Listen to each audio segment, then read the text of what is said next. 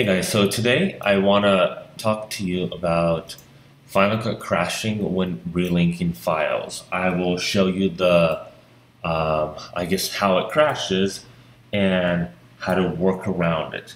Um, because when it crashes, you have issues. So let's do this. So I'm going to go ahead and uh, right off the bat, I'm just going to open up a project that I got from a collaborator and I'm going to try to open it and obviously everything's going to be missing files. That doesn't scare me. Um, let's go ahead and once it loads, I'll go ahead and try to link files and I'll show you what the what the issues are. And this is not only me; this is multiple people have been having this. Um, and when it does crash, um, I'm having a hard time opening up the project. And also, uh, if I do get an opportunity to open the project, it creates files uh, it like relinks a few files, but it also creates files that have no data. So if you have an edited project, you're going to have issues with uh, black black video files that you can't necessarily relink anymore. Uh, so let's go ahead and link. Let's just click locate, locate all. I'm going to go ahead and point to the folder that all the files are. It's going to go ahead and verify the files for compatibility. As you can see, uh, as you will see, all the files are compatible. Um, the issue is relinking. So you're going to notice that. Let's see.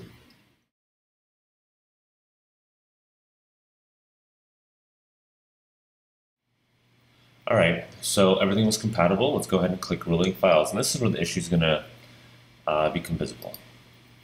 One, two, three. About three seconds, and it crashes. Let's go ahead and try to open that file again.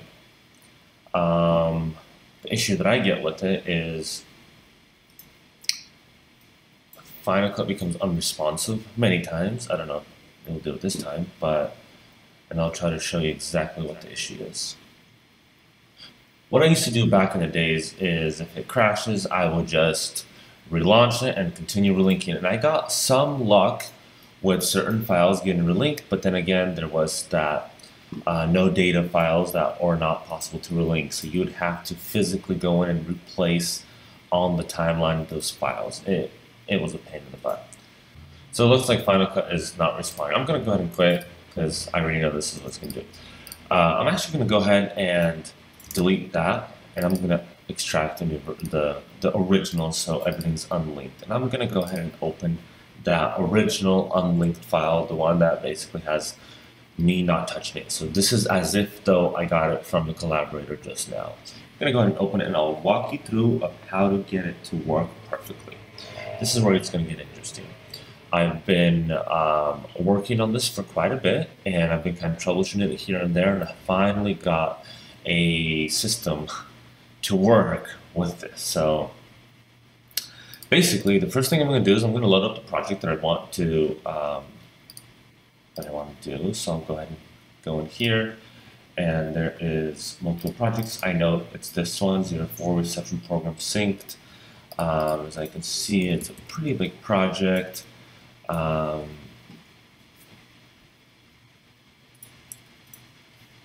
it is two hours and 33 minutes. This is a document to edit, but anyways, that's not the point. So let's move on. Let's go File, New Library. We're gonna, gonna actually mark that in there. Sorry. File, New Library. I forgot that I was using dual, dual screens. File, new library. We're going to create a new library straight in here. I'm going to copy that. Just I'll put V2. That's my relinking. And now I'm actually going to go Command A. I'm going to select the whole timeline that I had open. I'm going to click Command C.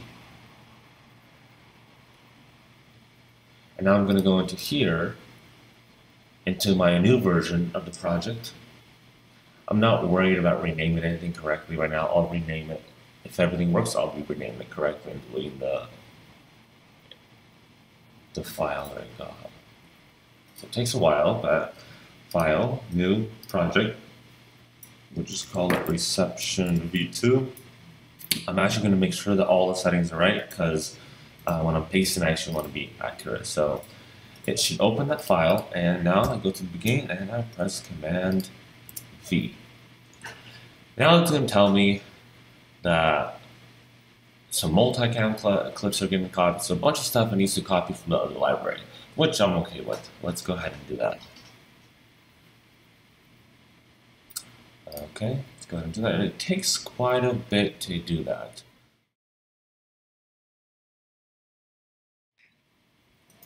What it's doing right now is it's literally copying the timeline clip for clip onto this new timeline. Um, don't know how hard it is for the computer, but it is. Um, so I want to right away take a look at a few things. One is how many clips are in this library. There are 736 clips. This one is 791 clips.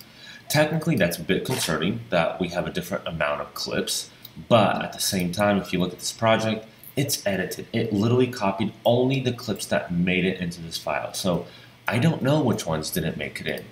Um, I could technically go through and find which ones did not make it in, but if you think about it, if they didn't get edited, you really don't need them in the final project. So yes, you could start, you know, looking at it and stuff like that, and finding the missing clips that are not in. There's probably like, what 60 missing, but I'm not going to worry about that. We're going to go ahead and just actually take the library and relink this now. Um, from a simple copy and paste. That's the interesting thing is that we literally copied and pasted to a new library. Keep in mind, a new library, not a new event. Has to be a completely separate library.